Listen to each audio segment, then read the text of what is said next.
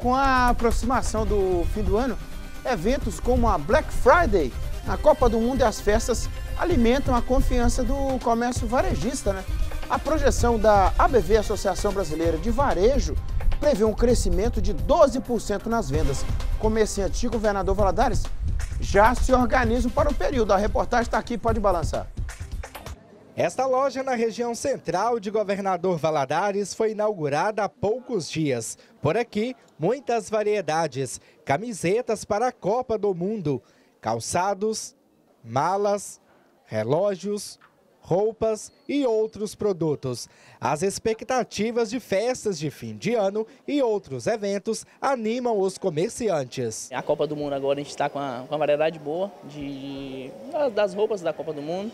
E o Black Friday também vai ajudar bastante, né? E agora vem o final de ano, Natal, a expectativa é que a gente venda bastante e que a gente venha conseguir atingir as metas, né? Que a gente está tem planejado. Neste outro estabelecimento, também no centro da cidade, o clima já é de Black Friday.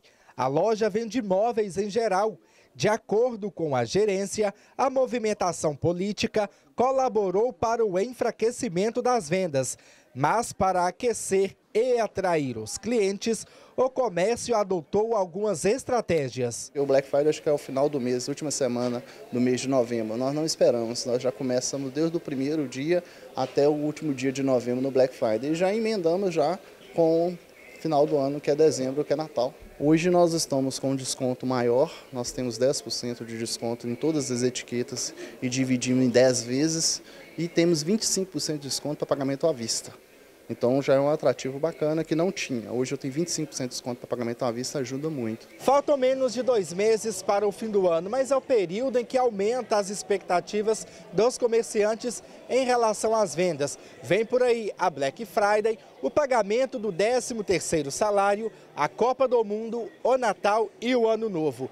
Já a Associação Brasileira de Varejo espera que as vendas cresçam 12%. Levantamentos da última pesquisa mensal do comércio apontam que no primeiro quadrimestre deste ano, o comércio varejista avançou 2,3%.